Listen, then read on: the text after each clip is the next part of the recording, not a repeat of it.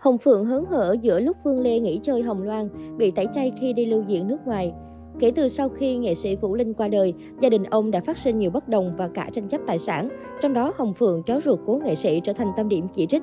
Nguyên nhân bắt nguồn từ việc cô và mẹ ruột được cho là không rõ ràng trong chuyện tiền bạc, thậm chí là có ý định tranh giành tài sản với Hồng Loan, con gái cố nghệ sĩ. Cho đến mới đây, mạng xã hội lại bất ngờ lan truyền đoạn clip về Hồng Phượng, cháu gái của cố nghệ sĩ ưu tú Vũ Linh trên sân khấu. Theo đó, Hồng Phượng đang có chuyến lưu diễn ở Pháp theo lời mời của một người quen. Trong clip được đăng tải, Hồng Phượng đang biểu diễn trước khán giả thì mở một đoạn vọng cổ của cậu mình là nghệ sĩ Vũ Linh lên để khán giả tưởng niệm.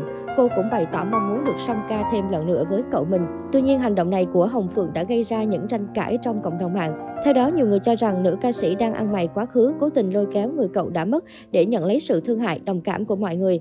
Thậm chí nhiều khán giả cũng để lại những bình luận nặng nề như dựa dẫm đến lúc chết vì không có cậu, nó chả là gì, lôi cậu theo để xin tiền, xin tình thương của khán giả. Qua hát phòng trà cũng không tha cho cậu. Có thể thấy ai nấy đều bức xúc trước hành động của Hồng Phượng lần này.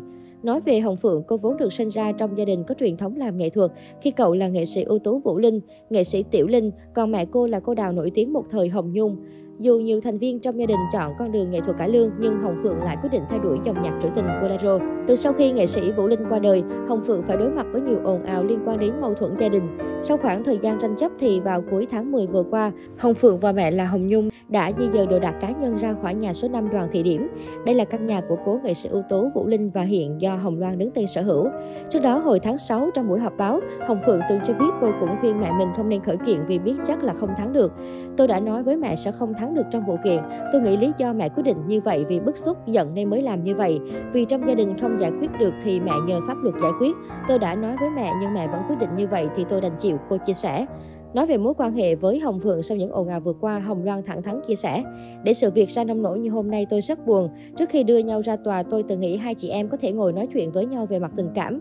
Còn bây giờ đã đến mức kiện tụng và đưa nhau ra tòa, thì như giọt nước đã tràn ly, tôi không còn gì để nói với Hồng Phượng. Trong khi đó, Hồng Phượng lại chia sẻ, giữa tôi với Loan không có gì, chỉ là mẹ tôi Hồng Nhung và Loan. Tôi nghĩ việc Loan nói trong nhà không có tiếng nói chung thì khó sống là đúng, nhưng Loan có thể yêu cầu tôi ra khỏi nhà bằng cách đàng hoàng. Đằng này Loan lại khóa cửa cho 2-3 ngày để dọn đi.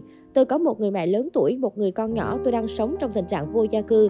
Nay chỗ này, mai chỗ kia, quần áo đồ đạc tôi cũng không thể lấy được. Mong cứu xét trường hợp của gia đình tôi có phải ra khỏi nhà hay không. Tự nhiên khi cậu tôi mất, mọi thứ thay đổi, đó là điều tôi đau lòng.